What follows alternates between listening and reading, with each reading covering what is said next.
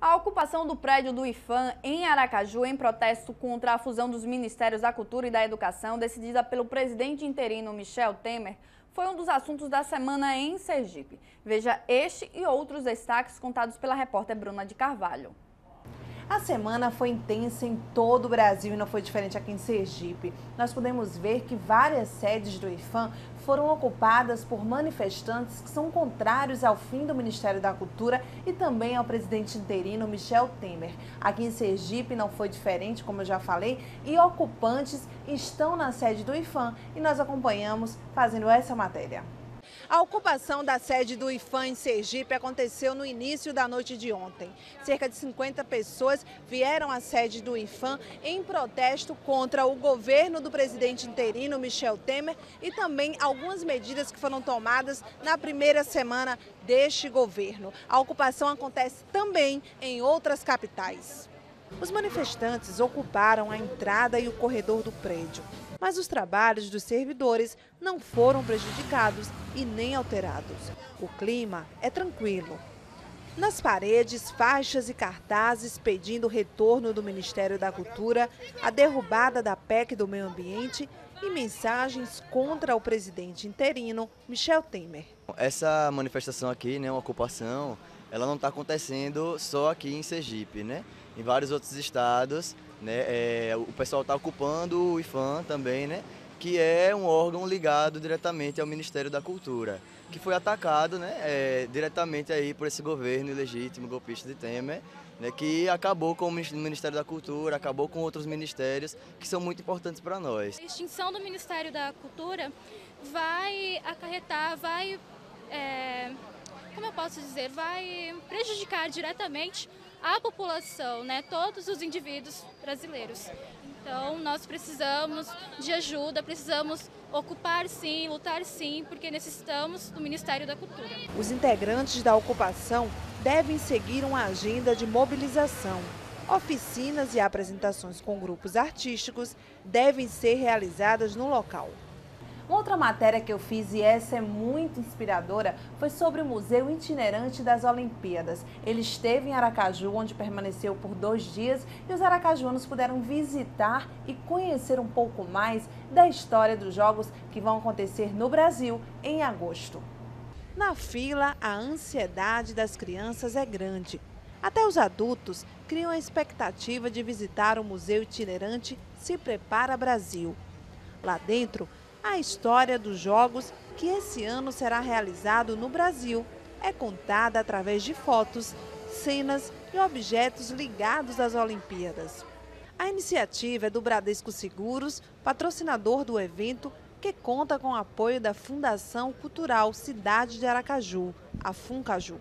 A exposição apresenta mais de 100 peças do acervo do Comitê Olímpico Internacional, do Comitê Olímpico do Brasil e do Comitê dos Jogos Rio 2016. Também tem objetos de coleção. São duas carretas como essa que estão circulando pelo país. 42 cidades serão visitadas. Logo na entrada, encontramos a tocha olímpica usada nos Jogos de Moscou em 1980. Tem também a tocha de Pequim de 2008. As fotos e objetos contam um pouco da história dos jogos criado pelos gregos por volta de 2500 a.C., como homenagem a Zeus, o maior dos deuses segundo a mitologia grega. Nas telas, imagens de grandes campeões que fizeram história nas Olimpíadas. Aqui, uniformes de Londres de 2012. Eles não poderiam faltar, os mascotes dos Jogos Olímpicos Rio 2016, Tom e Vinícius. E no país do futebol, as bolas expostas atraem os olhares. Além dela, também tem as bolas de basquete, handebol, tênis e muito mais. A família Barbosa Santos veio completa. A filha de 13 anos fala da sensação de conhecer um pouco mais dos Jogos Olímpicos. Eu achei uma experiência única que acontece muito pouco, raramente foi muito bom, eu me senti um espírito olímpico, peguei esse espírito olímpico para mim, me senti uma campeã e uma vencedora também, entrar aí e me senti muito fantástico com as histórias dos nossos campeões brasileiros. E depois de visitar o museu, a ansiedade ficou maior para começar logo essa Olimpíada? Com certeza, muita esperança e apostando muito que o Brasil será vencedor nessas Olimpíadas. E nessas Olimpíadas, qual é o seu esporte preferido? O que é que você vai torcer mais, assistir mais?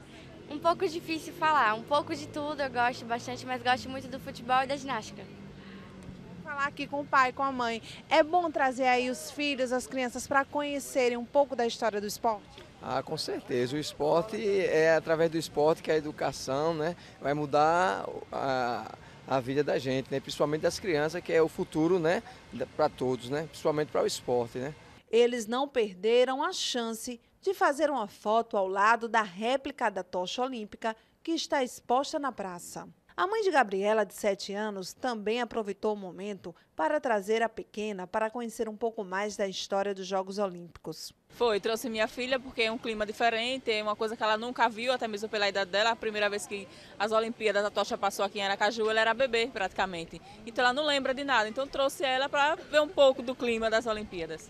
E ela, claro, adorou a exposição e fala para quem é a sua torcida. E vai assistir às, às Olimpíadas? Vou.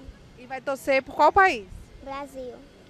E para falar um pouco de história, nós fizemos uma matéria no Museu Olímpio Campos, onde está acontecendo uma exposição do Museu Afro-Brasileiro. Lá nós encontramos várias peças tanto da época dos escravos como peças atuais que fazem parte da história afro no Brasil. Vale a pena conferir.